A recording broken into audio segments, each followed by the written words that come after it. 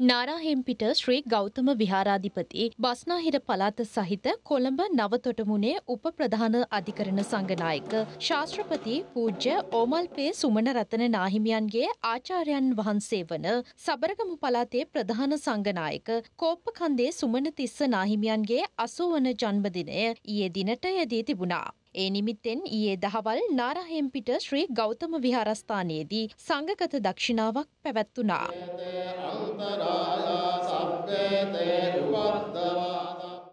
සබරගමු පළාතෙන් බිහිවෙච්ච කීර්තිමත්ම නායක ස්වාමීන්ද්‍රයන් වහන්සේ නමක් හැටියට අපේ කෝපකන්දේ නායක මාහිමිපාණන් වහන්සේ පිළිබඳව අපිට තියෙන්නේ විශාල ගෞරවයක්.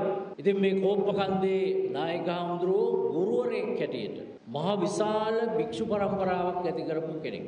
භික්ෂු සමාජය තුළ ඒ ගුරුවරයන් වහන්සේට සැලකිය යුතු වන්නේ පිතෘ ස්නේහයෙන් යුතුවයි. එතකොට ඒකට බොහොම ආදර්ශවත් අවස්ථාවක් හැටියට මේ අවස්ථාව පිළිබඳව අපි සඳහන් කරනවා. මෙම අවස්ථාවට බස්නාහිර පළාත් ප්‍රධාන සංඝනායක පූජ්‍ය මුරුත්තෙට්ටුවේ ආනන්ද හිමියන් ඇතුළු මහා සංඝරත්නය වැඩම කර සිටියා.